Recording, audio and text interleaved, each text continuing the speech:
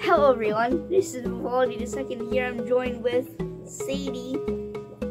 Um, here I'm gonna put you down. And in this episode, I have some updates on the reptile room that I want to go through.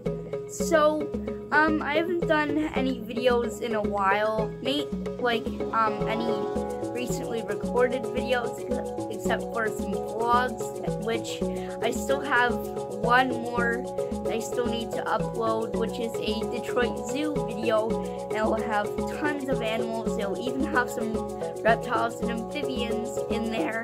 It'll have some penguins and lions and giraffes, elephants. I think there's elephants in there. Uh, you get the point. There's a lot of animals. So I just wanted to put in some updates on the reptile room. So um, with my Firebelly Newt Kronos, um, uh, which is what I named him, he did pass away um, about four or five days after I got him. Uh, he was already sick to begin with. He had some pretty bad bloat. Um, one night I went in to check on him, and he his mouth his mouth was pretty um, sort of puffed up, and I knew that he wasn't going to last much longer. And so I said my last goodbyes to him. Uh, he did. He was shedding. Um, he had his last shed. Um, and the next morning, I went to check on him, and he died in his sleep. So Kronos is gone. Um, I will, don't, I know I've said this a lot, but I am trying to get another newt. It'll probably come uh, along the way. And also, if you didn't notice already, boom, I got a new tank for my axolotl. You can see him right here a little bit.